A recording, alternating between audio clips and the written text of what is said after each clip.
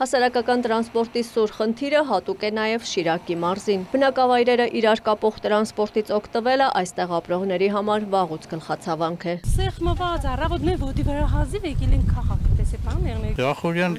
գնալու համար հիմնականում տաքսիներից ենք օգտվում։ Վարամաբերդից մինչև Վախուրյան չկա երբեք էլ չի եղել այդպես տրանսպորտ, մենք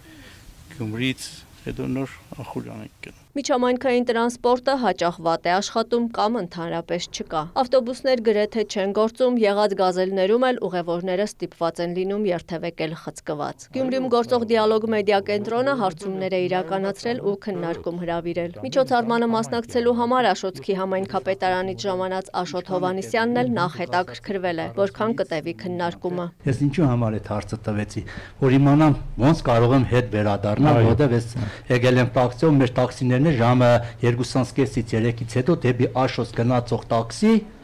արդեն դժվար կգտնեին։ Շիրակի մարզի ամենահյուսիսային Աշոց համայնքի կազմում 25 բնակավայր կա։ Կենտրոնի հետ կապող հասարակական տրանսպորտ ոչ մի ուղությամբ չի գործում։ Աշոցքից Գյումրի մեկնող միակ սպրինտերն էլ աշխատում է, եթե ուղևորները քիչ չեն։ Հովանիսյանը նշեց համայնքը ավելի քան 300 ուսանող ունի, որոնցից 100-ը սովորում է Գյումրիում։ Ու ճանապարհի վրա նրանք ամեն օր ծախսում են 1400 դրամ։ Շիրակի մարզում միջհամայնքային հասարակական տրանսպորտ եթե աշխատում էլ է, ոչ ուշ ժամերին։ Մարզպետարանի ներկայացուցիչը տեղեկացրեց, չնայած մի քանի անգամ միասնական օպերատոր ընտրելու մրցույթ են հայտարարել, հաղթող կազմակերպություն դեռ չկա։ Այդ պատճառով էլ ժամանակավոր պայմանագրերի հիման վրա շարունակում են աշխատել նախկինում երթուղիները սպասարկելու իրավունք ձեռք բերած ընկերությունները չթարմացվող ռեսուրսով։ Դրանք 35 երթուղիներ կդառնան, որի մեջ մտնում են նաև Գյումրի Երևան, այսինքն նաև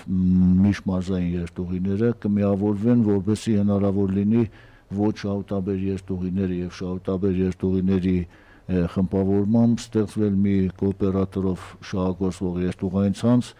որը հնարավոր կլինի նաև այն բնակավայրերը, որոնք այս պայն տրանսպորտային միջոցներ չունեն, ոչ շահութաբերության պատճառով հաղթող կազմակերպության կողմից, այսինքն սպասարկող ընկերությունը պարտավորվում է նաև սպասարկել այդ երթուղիները։ Ավտոմոբիլային տրանսպորտի մասին օրենքի մեկ այլ փոփոխությամբ համայնքը իրավասու է ներհամայնքային երթուղի ձևավորել եւ մրցույթով ընտրել սպասարկող կազմակերպությունը։ Այս դեպքում պետական բյուջեից խոստացվում է 50% համաֆինանսավորում տրանսպորտային միջոցներ ձեռք բերելու համար, ինչպես օրինակ Գյումրիում է արվել, բայց Շիրակի մնացած համայնքները նման նախաձեռնություն չեն ցուցաբերել։ Աննա Զախարյան, լուրեր